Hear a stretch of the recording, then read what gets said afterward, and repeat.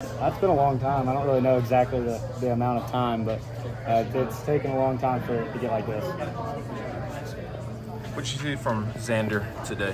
I know that was that, and that had to have been a cool moment for you uh, Yeah. to kind of take the ball from him in that moment. It was it was electric uh, for him to do what he did, and you know for us to you know get to the point to where we're at right now. We needed him to we needed him to do good, and for for him to see that, and for me to see you know that he's he's capable of doing that was awesome. What was working so well for him today?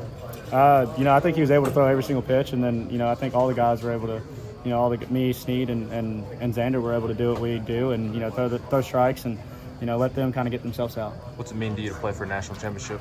Oh, it's awesome. I've, I've wanted I've wanted to do this for my whole life. Um, so to get to the point where we're at right now, it's it's un, it's speechless. Why is this team able to play for second national championship in program history?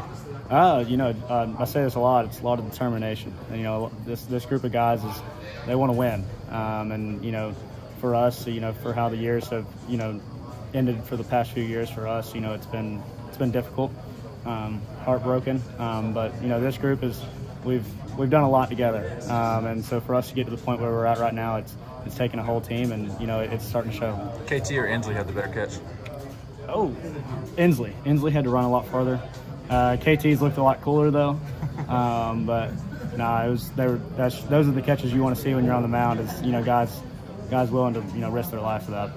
What's uh, key for you on not to get too comfortable and make sure that you aren't just pleased with what you've done to this point and get over the hump?